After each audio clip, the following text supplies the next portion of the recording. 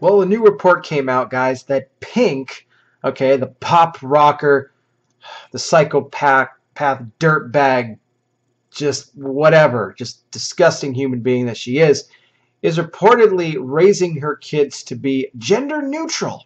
That's right. Pink is a huge advocate for gender neutrality, and she, apparently she's be raising her kids uh, to be the same way. Uh, it's it's truly uh, sad because she believes this is what she believes in her household that they live in a labor in a labelless household. That is according to Pink, the singer who is now 38 years old and married to motorcycle racer Carey Hart. Uh, who has told the UK's The People that she does not want her children defined by their gender. Not at all. Pink said that she is delighted that her six year old daughter Willow told her that she wants to marry an African woman when she grows up. Well, isn't that nice, an African woman? We are a very labelless household, Pink said. it's just insane. I still can't get over this. Well, last week, she says, last week, Willow told me that she is going to marry an African woman. I was like, great. Can you teach me how to make African food then? And she's like, sure, mama. And we are going to live with you while our house is getting ready. Pink continues saying, I was like, what the bleep? Who are you? Who is paying for this? Who is paying for all this, by the way, she said. Well, the performer went on to say here and say that she has been a champion. That's right, she is a champion, guys, of the gender neutrality, okay, uh, and, and, being the fact that she does not even acknowledge, get this, she does not acknowledge the science of two biological sexes, that being male and female. In other words, normal, being normal. She does not, she, she does not agree with that. She does not identify with that or even recognize it whatsoever.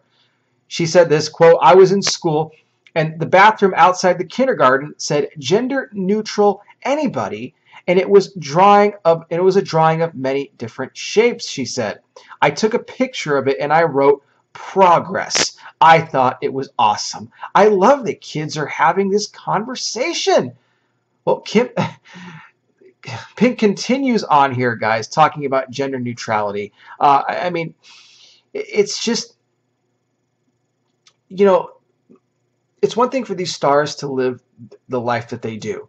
Um, and the fact that they advocate and they, they champion for the sin they champion for immorality okay? And look they're gonna have to answer to god for that one day. But who i really feel bad bad for are these kids all right? The kids of these celebrities these these liberal leftist you know globalist you know glorifying immorality and sin celebrities. I feel horrible for these kids as their parents are brainwashing them you know it's bad enough that the schools are already brainwashing the kids but when the parents start doing the same thing, you know, it's like, who do these kids have to turn to? You, you have to keep them in prayer. Uh, you, you, have to pray that, you know, somebody will share the, the love of Jesus Christ with them, uh, that they will not, because if they continue to be raised this way and develop this way, they're going to adopt the same mindset uh, of their parents and all these elitists.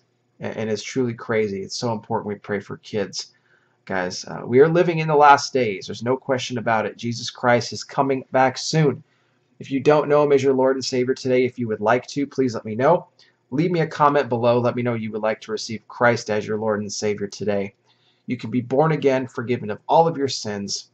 Come into the kingdom of God today, where you will have everlasting life and a home in heaven for all of eternity.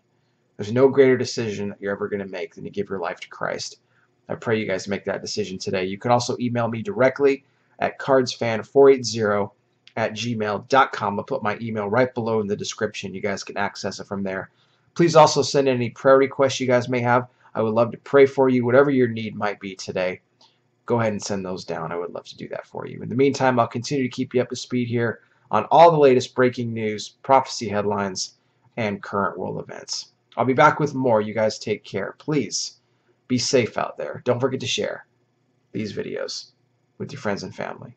God bless each and every single one of you. And I'll talk with you soon.